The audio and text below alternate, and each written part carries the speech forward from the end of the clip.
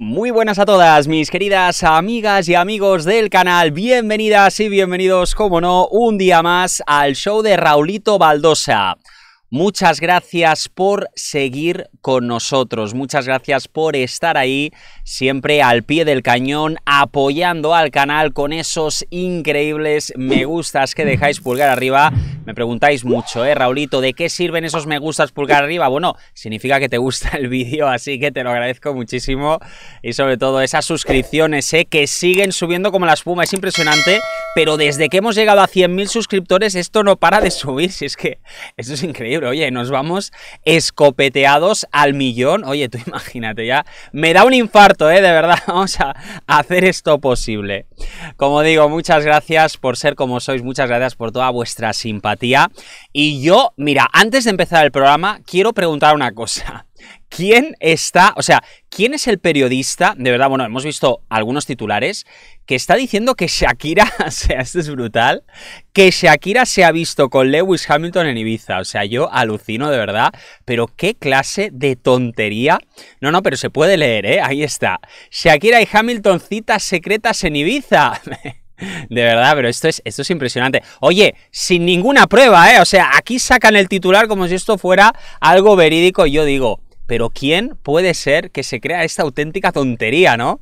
Pero bueno, esto, esto eh, está a la orden del día, ¿no? Mientras tanto, seguimos analizando estos, estos, temas eh, relacionados con eh, Gerard Piqué, con esta ruptura que parece que ya es una realidad y que empieza a coger, eh, bueno, vamos a decirlo así, a coger fuelle después de lo que ha estado pasando con Raúl Alejandro y Rosalía. Atención porque se vienen curvas curvas de las grandes, ¿eh? porque Shakira tendría mucha información en a lo que se refiere esta ruptura.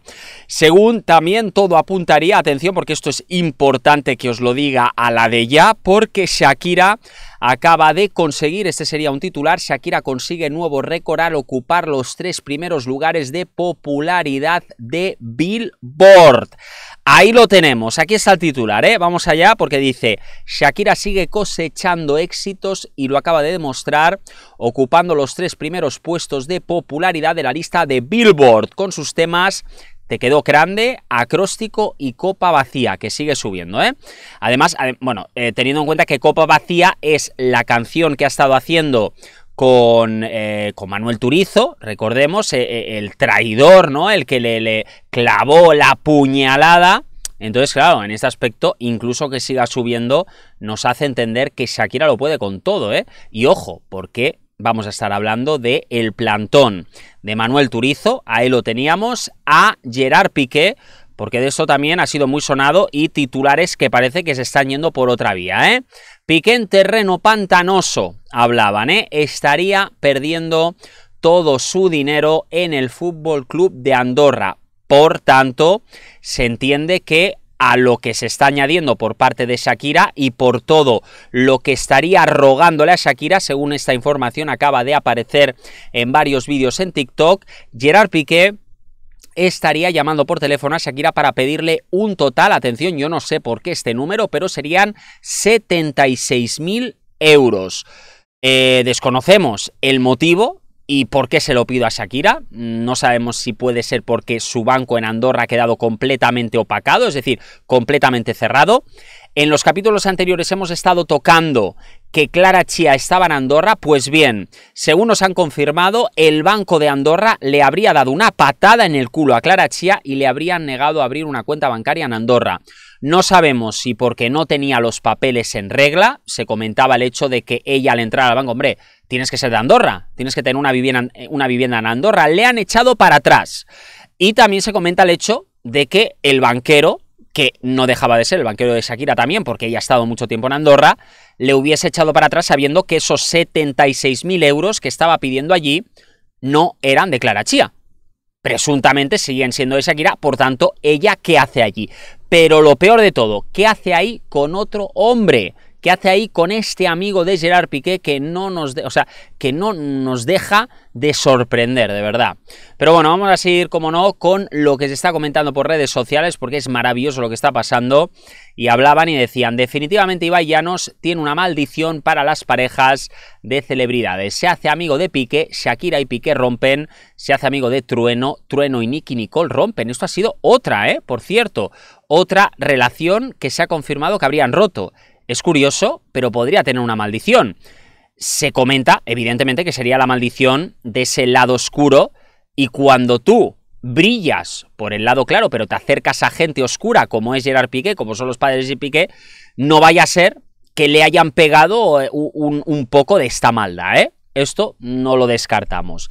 Y dice, se hace amigo de Rao y Rosalía y la Rosalía y Rao rompen.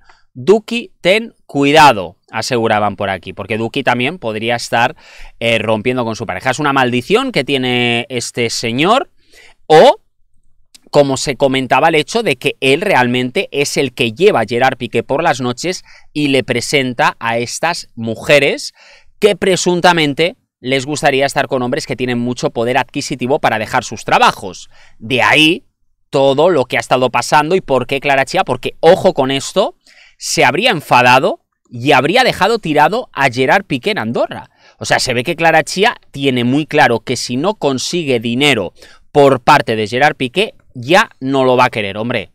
Teniendo en cuenta este, este hecho, sí que es verdad que por todo lo que está pasando esta chica, bueno, después, hombre, no me extraña que esté pasando por esto, por todo lo que ha hecho, pero después de lo que ha hecho y que evidentemente toda, España, todo el bueno, España digo, todo el mundo haya sabido efectivamente que es una roba maridos, lo que pasa que ella se ve que sale por las calles y le gritan ¡Roba maridos! ¡Roba maridos! No me extraña, ¿eh? Por cierto, vamos a poner por aquí Clara Chía, porque eh, se ve que cada vez hay menos información por parte de Clara Chía, precisamente porque, bueno, mira, mira, qué, qué, qué, qué, gente, mira qué gente tocándose los cataplines, qué gente contrata a Gerard Piqué. Y mira qué idiomas, ¿eh?